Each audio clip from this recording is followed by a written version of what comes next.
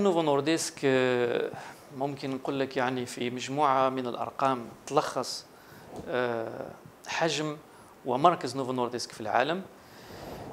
آه، لو نشوف إلى ربما إحصائيات أو نتائج 2023 إلى إلى نتكلم على المبيعات فنحن نتكلم على أكثر من 34 مليار دولار. إلى نتكلم على القيمة السوقية لنوفو نورديسك. فهي تقريبا 500 آه، مليار دولار يعني أكثر من 480 مليار دولار.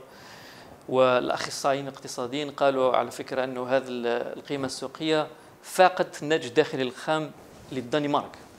فهذا شيء شيء كبير يعني وصلت له نوفو نورديسك لكن لو تسأل مسؤولين نوفو نورديسك يعني ما هو الشيء اللي يخليهم آه، فخورين بالإنجازات اللي وصلوا لها راح يقول لك أنه اليوم نوفو نورديسك آه، مكنت أكثر من 40 مليون.